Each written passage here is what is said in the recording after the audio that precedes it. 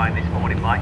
And one thing that we will get in a 20 minute race is lap reasoning because you've got the Class 8 cars lapping in 4 minutes 34, minutes 35, but the, the less modified cars in Class D uh, are lapping around about 12 seconds a lap slower. So they have their own battle, but uh, that's something to bear in mind. Like Colin Wells and Richard Bacon are going to come up to these cars in the second half of the race. They're going to be having their own battle and uh, we're going to be hopefully relying quite a lot on the marshals bringing the blue flag there and all the, the production-based drivers keeping an eye on the wing mirrors. Yes, 20 minute race this one. Uh, the last time it seemed be 15 minutes plus one lap. We get 20 minutes plus one lap.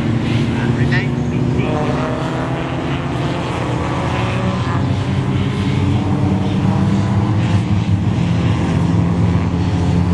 Position man Colin Wells. And into second place goes Piers Ross. Then number 42, Tom Knight, makes a good start, just back into third place. Fourth place, Richard Bacon is third. So it's Wells, Ross, Bacon, and Tom Knight.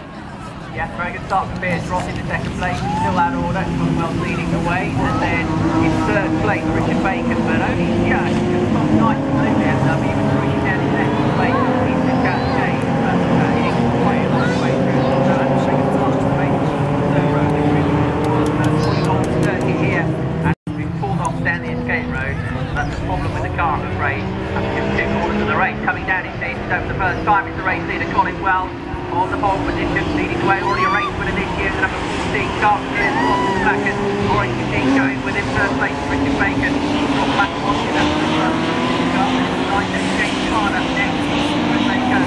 get the town, climb up through Clay Hill, uh, another change on Loney here, it's number 13, X Machine, that has, uh, that's Mark Smith, is at a, a full start to the race, Thirty, and now, already up in the 16th place. 38 into the pits as you predicted. So here's the retirement van and also end of the second stop from the outlaw pit from the runner in Clark Smith. Right, see this is coming over hilltop, breaking down, turning right, taking the chain, and touching down there, racing quite well. He's that kicking away, second place car number 52, going to win him in third, a similar pace to Richard Bacon, then all the way down on the next group of cars, Tom Knight, the blue machine, being harassed by number 21, James Card, and Darren Fielding in the red number 40 car, is next up in sixth place, but crucially, critically, Darren is leading Class B now, he heads up Clay Hill, so he's had a good start uh, to the race, and uh, gone ahead of Neil Hughes. Then we've got another one. Here with damage coming down into his cage, smoke pouring from the back of the car, it's the machine.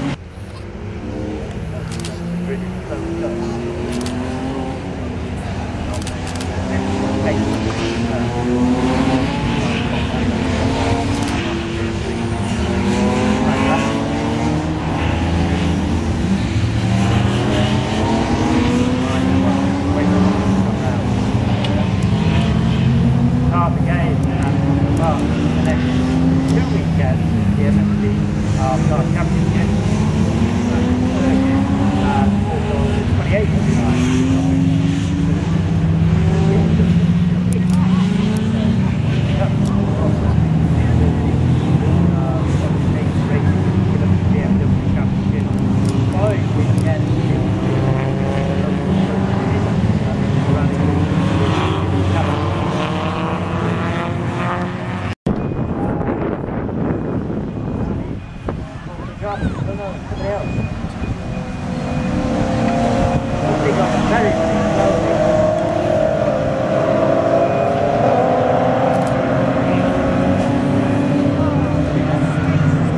a big bunch down around here.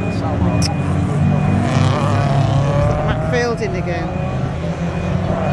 36, Dominic 32, quite well, it's a 36, possibly the yellow flag that we're getting a problem. Stop from the action.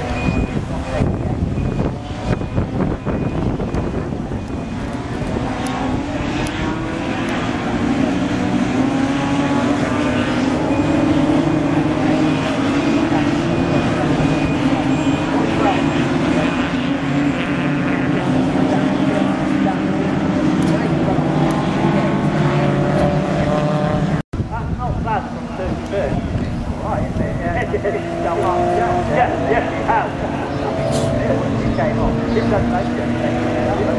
Yes.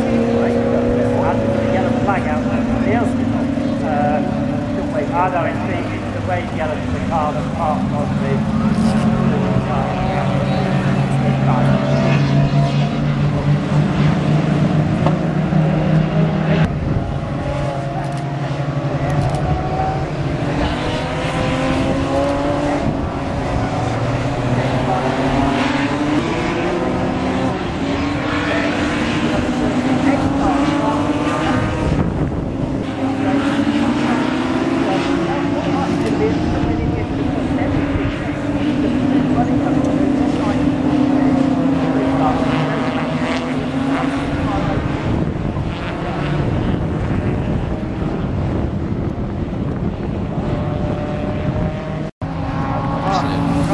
believe that Bloody well. He is in